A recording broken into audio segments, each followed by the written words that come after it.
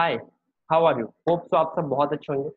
Welcome in my new video in this video I will discuss about resume for CMA training अगर आप training करने जा रहे हो, आप फ्रेशर हो, आपके पास काफ़ी कम एक्सपीरियंस या हो सकता है मोस्ट ऑफ़ द स्टूडेंट्स के पास एक्सपीरियंस ना हो तो बहुत सारे स्टूडेंट्स ने मुझे मैसेज किया कि, सर फ्रेशर्स के लिए जब आप ट्रेनिंग करने जाओ तो आपका रिज्यूम कैसा था? आपने किस तरीके का रिज्यूम यूज़ किया अपने टाइम में? तो आज इस वीडियो में मैं डिस्कस करूँगा कि मैंने किस फॉर्मेट का रिज्यूम यूज़ किया तो मैं स्टार्ट करता हूँ अपने वीडियो एंड मैं आपके साथ स्क्रीन शेयर करता हूँ। एंड दिखाता हूँ मैंने कौन सा रिज्यूम यूज़ किया ये आप देख सकते हो, ये एक रिज्यूम है जो मेरे टाइम मैंने यूज़ किया था। ये बहुत बेसिक से रिज्यूम है एंड बहुत इजीली और चीज़ें डायरेक्टली दिखेगी। बिकॉज़ जब आप रिज्यूम कहीं सेंड करते हो तो वहाँ पे सामने वाले के पास इतना टाइम नहीं होता कि आपके डिटेल रिज्यूम तीन पेज चार पेज का रिज्यूम आपका देखे। रिज्यूम का स्टैंडर्ड साइज़ जो होता है वन टू टू पेज का होता है। मैक्सिमम टू पेज तक का रिज्यूम आपका होना चाहिए। उससे ज़्यादा का रिज्यूम आपका नहीं होना चाहिए। तो ये मेरा रिज्यूम का एक फॉर्मेट है। यहाँ पे कुछ बेसिक डिटेल्स लिखी गई है। कोर स्ट्रेंथ आपकी क्या है?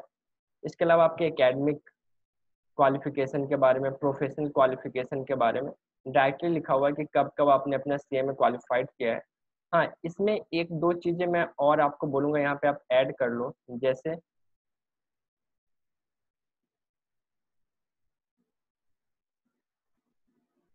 जैसे यहाँ पे एक आपको अपने परसेंटेज का कॉलम ऐड करना चाहिए।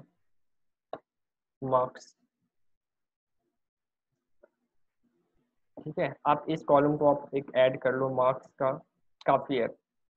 मार्क्स में आप अपने परसेंटेज में डालना मार्क्स जो भी आप डालोगे परसेंटेज फॉर्मेट में डालना। इसके अलावा clear all exam in first attempt अगर आपने एक से ज़्यादा टाइम लिया तो आपको इसको स्किप कर सकते हो, आप इसको यहाँ से रिमूव कर सकते हो। इसके अलावा जैसे कि आपको किसी सब्जेक्ट में अगर आपको एग्जामेशन आया है तो आप एग्जामेशन को भी आप अदर में डाल सकते हो, कुछ एक्स्ट्रा यहाँ पे नीचे डिटेल में, ठीक है?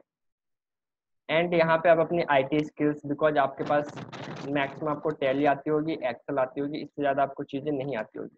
तो आप उसके बारे में डाल देना, और यहाँ पे कुछ वर्क एक्सपीरियंस है आपके पास तो आप वो डाल सकते हो। हाँ इसके अलावा आपके पास कोई अचीवमेंट्स है ड्यूरिंग दिस आपकी स्टडी जैसे अपने स्कूल टाइम में या कॉलेज टाइम में तो आप उसके बारे में भी आप यहाँ पे डाल सकते हो, ठीक है? एंड लास्ट में आप अपना पर्सनल डिटेल्स आप अपना फिल कर दो एंड इसमें आप अपना एड्रेस भी डालना मैं आपको बोलूँगा। आप अपना अपना प्रजेंट एड्रेस एंड प्लस आपका जो परमानेंट एड्रेस है, आप दोनों यूज़ करना, ठीक है? तो इसको आप अपने अकॉर्डिंग आप थोड़ा बहुत कस्टमाइज कर सकते हो। कुछ अगर आपके अंदर और भी एडिशनल क्वालिटी है तो आप उसको आप डेफिनेटली आप अपने रिज्यूम में दिखाना। बट इस रिज्यूम को टू पेज से थ्री पेज पे मत जाने देना।